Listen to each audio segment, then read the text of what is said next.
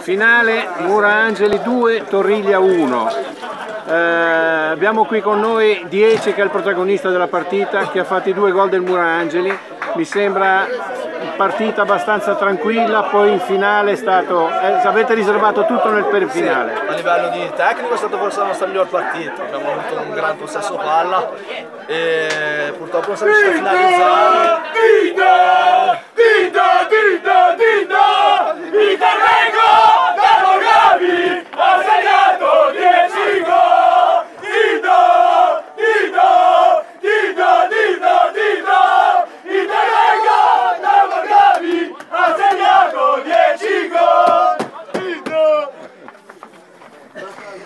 E, e niente, nel finale c'è stata quella cosa incredibile del gol loro, molto, una cosa molto particolare, ci ha fiscato fallo in arietta, abbiamo dormito, noi so però non ci siamo disuniti, l'altra partita abbiamo trovato gol del pareggio sul rigore e poi alla fine abbiamo fatto un ottimo 1-2 io Pagliano e l'abbiamo portata meritatamente a casa. Benissimo, grazie, in bocca al lupo.